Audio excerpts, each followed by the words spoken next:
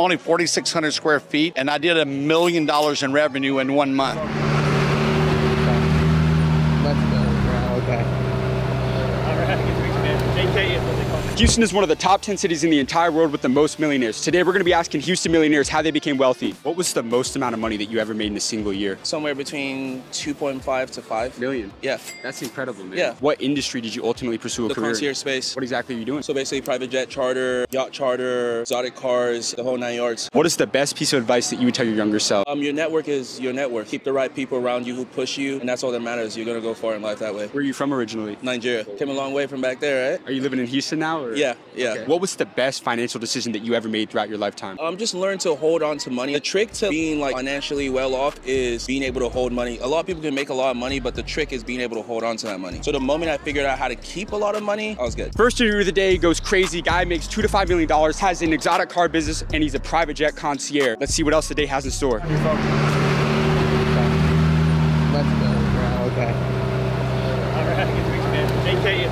What industry did you ultimately pursue a career in? Great question. I started off doing computer science. I was going to college because my parents expected me to, but my heart really wasn't into it. I later found my passion was in the study of life and biology. So I ended up becoming a doctor. I'm an emergency room doctor now. But even then, I switched industries. I still am a doctor, but I wanted to learn business and real estate. So now I'm building some lake homes on the north side of town, but I'm still learning. I'm in the early first couple years of that process. So you are a business owner. I am now, yeah. So I think you got to follow your passion, but it's okay for passions to be redirected as you get a little older. I once heard a wise man say you should only have a job long enough to learn what you can from it. At that point, it's time to move on. What is the most amount of money that you ever made in a single year?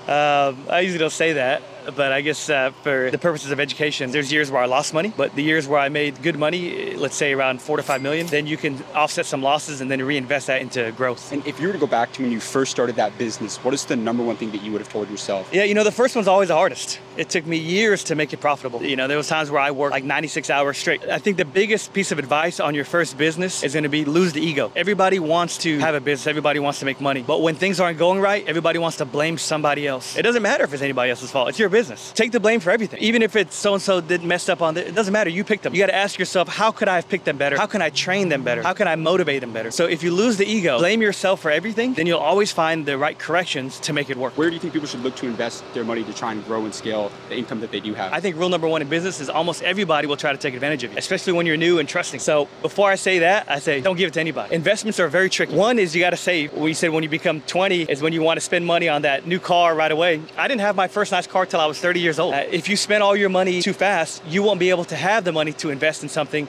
that might have an opportunity. what industry did you ultimately pursue a career in? I'm in in? the marine industry. I'm a ship captain, offshore oil and gas. What is the best piece of advice that you would tell your younger self? Follow your dreams. You only have one life, and life is finite. You're born, you die. Everybody dies. Follow your dreams. Do everything with passion, whether it's your work or your pursuits, your hobbies, whatever. Enjoy. We're at one of the most popular restaurants in Houston, Texas, and we're going to go in and see if we can get an interview with the owner. In what industry did you ultimately pursue a career in? Hospitality, restaurant business. I started waiting tables at age 16 and I worked my way up and now I own my own restaurant. So you own this restaurant right here? Yes, sir. What is the most amount of money that you ever made in a single year? Well, this past year, December, I'm only 4,600 square feet and I did a million dollars in revenue in one month. And that's like $2,300, $2,400 a square foot. Nobody in this city does that. And what about for the whole year? The whole year, I ended up doing right under $10 million. Most people would be happy doing 4 million out of this size. I did 10 million. That's- My goal is next year is to grow. And what I do is I tell all my key employees, I will write you a check. It could be 5000 it could be 10000 if I reach this number at the end of the year. If you were to go back to when you started that first business, what is the number one thing that you would tell yourself? Get everything written out in paperwork. When you open a business with a partner, always make sure there's a decision maker, someone on the board of directors that can make a decision if you and your partner do not agree on certain things. Communication is key. That's the number one thing in any successful business. You got to communicate with your partner or your vendors or whatever it makes you successful. How can someone become wealthy today? I've heard from many wealthy billionaires. They don't invest in businesses, they invest in people. I'm here seven days a week, seven lunches, seven dinners. I never leave. I rarely take a break. I got two Porsches in my garage. I, they have no miles on them because I'm never home to drive them, but I love what I do. I, I wouldn't trade it for anything in the world. So I think showing up and being 100% yourself and being true to your business, just being there. I know every customer on this patio and know every customer inside, and I touch every single table. I make everyone feel special. And you had brought up earlier, you never say no. Can you kind of explain that? In the restaurant business, The last thing a customer wants to hear, especially when he pulls up in a Ferrari, is the word no. So when they come in, if we're fully booked with reservations, we say things like we're fully committed at this point. I never use the word no because no one wants to hear that. So I said, I can make anything happen. That's my motto. If they want a car from the Rolls Royce dealer delivered here, I'll go get it, add 20% to the check, and bring them a Rolls Royce. I do not say no. Got to be one of my favorite interviews I've ever done. An incredible guy all around, and just very thankful for his time. I mean, I mean, this man is literally in the middle of a lunch rush right here on a Sunday afternoon at his restaurant and took the time to come answer a few questions for us. We're seeing, we were watching him. He's touching every table and talking to every customer in there. Damn, what a what a great entrepreneur, entrepreneur spirit, man. We just saw Cam Jackson, who's a really big entrepreneur on social media, walking his dog. So we're gonna go after him, see if we can get this interview real quick.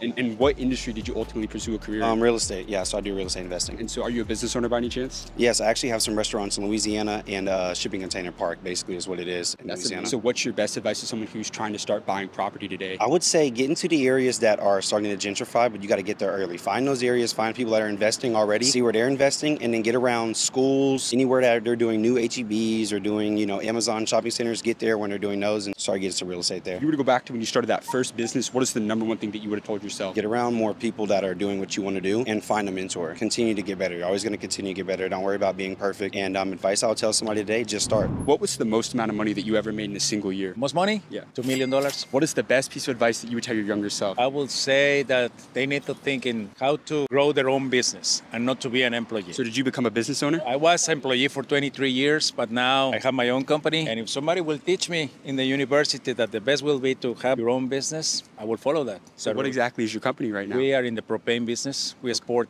propane into Mexico. If you were to go back to when you started that first business, what is the number one thing that you would have told yourself? I would say the most important in life is relationships. How to, through relationships, do business. That's the best. What is the best piece of advice that you would tell your younger self? Yeah. I dropped out of college. I wouldn't really give myself a lot of advice. What industry did you ultimately pursue a career in? I mean, I was advertising sales, then I sold Lexus at 23, mortgage loan officer at 25, and then I opened a mortgage company, and now I own a company, worldclass.com. We're importers, sell to fine restaurants. So, as an entrepreneur, if you were to go back to when you started that first business, what is the number one thing that you would have told yourself? I probably would have raised capital, and I would have surrounded myself with really good people from day one. Things that I've never done. I've never raised capital. I've never surrounded myself day one with a great team. You have those two things, you, you're going to go. when you're starting to make that money, though, you're looking to kind of invest, put it in different places. I mean, real estate's number one, and then you should have a, a cushion, six to 12 months of your spend, and then from there, as far as stocks, S&P 500. I mean, if Warren Buffett's going to bet a million dollars against the top 10 hedge funds and win 10 out of 10 times over a, t- a decade, why are you going to try to be better than the best Goldman Sachs? I mean, just buy the S&P 500. That's it. What's the number one mindset change that is needed in order to become a multimillionaire? You just can't be a sheep. Let's say you get off the freeway and you have 15 people in one lane. Yeah. And you can turn left,